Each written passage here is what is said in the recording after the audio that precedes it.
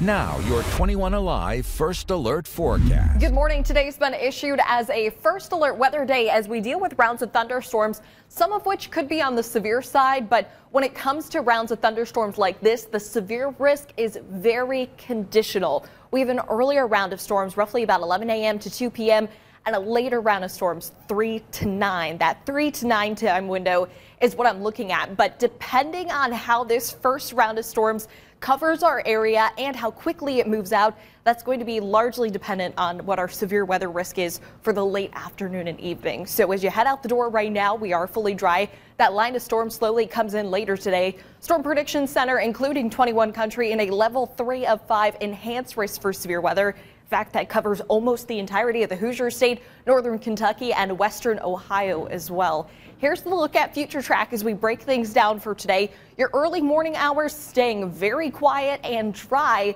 Rain chances with that first line of thunderstorms don't come in until the afternoon. So if you do have lunch plans today, you're going to need the umbrella.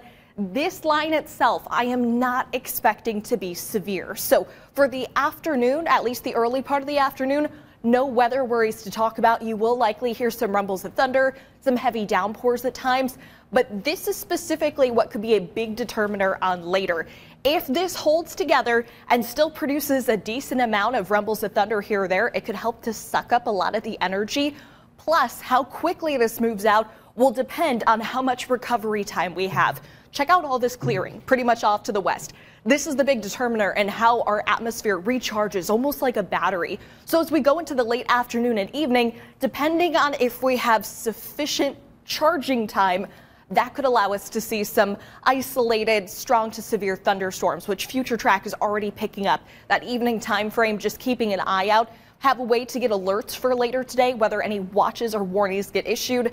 As I mentioned, this is conditional, so one round of storms really depending on the other.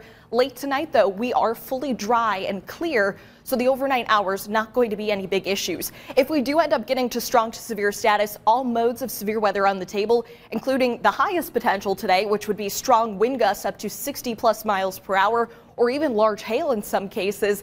And yes, the tornado risk is still possible in our area if we do end up getting some of those isolated strong to severe storms.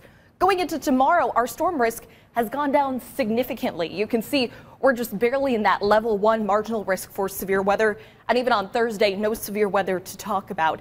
Here's the look at your seven day forecast. Temps today and tomorrow are in the 70s, but we continue to cool off from there making it back into the 60s by the tail end of this work week. Mother's Day weekend looking to be in the low 60s, partly cloudy skies with the chance for an isolated shower.